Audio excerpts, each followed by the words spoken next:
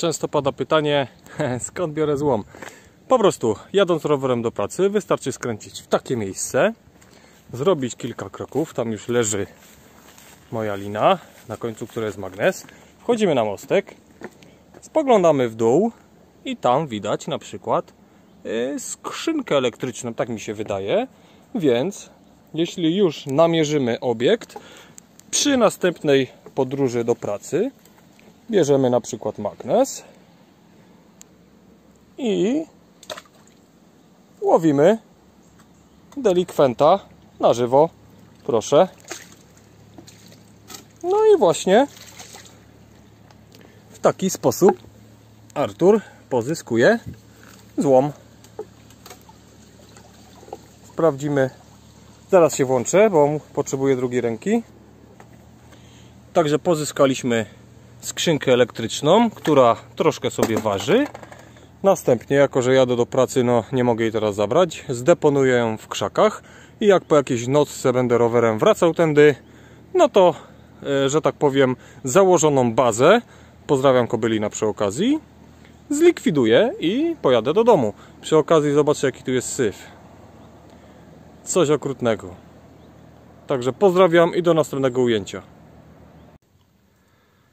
To jest kastra ze szkłem wydobytym z ziemi. Ono się tutaj ładnie moczy. W wolnej chwili je tam przepłukuję i, yy, no i na przok wywożę.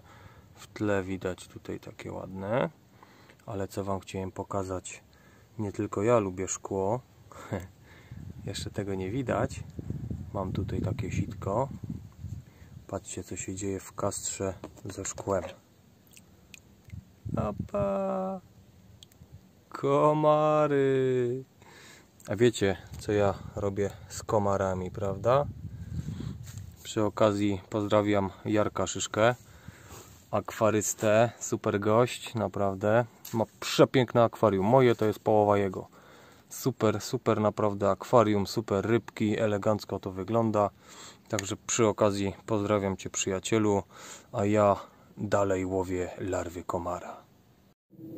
I tak moi kochani, dzisiaj w Kaniowie dzień wesoły, jedziemy zawieźć urobek z magnesu, z wysypiska, z odcinków do pracy i z pracy. Przy okazji pozdrawiam Flaminga, zawodowego zbieracza złomu, Maxa i Przema Wilo z Cieszyna. E, nazbierało się tego troszeczkę, są konstrukcje mostowe targane z Flamingiem, są blachy przywiezione Tią Fabią troszkę cieniutkiego zostało. Sam jestem ciekaw, ile to wszystko waży. Także, bo powiem wam, o Jezus Maria. Powiem wam szczerze, e, może nie wygląda, ale troszkę tego jest. No nic. E, jak to mawia zawodowy, do ważenia. Powiem wam, że jestem podwójnie w szoku. Pierwszy szok to to, że było tego 135 kg. To jest niesamowite. A drugi jest taki, że ceny poszły w górę jeszcze. Złotówka cienki, złoty 20 gruby. No i efektem tego jest trzech króli.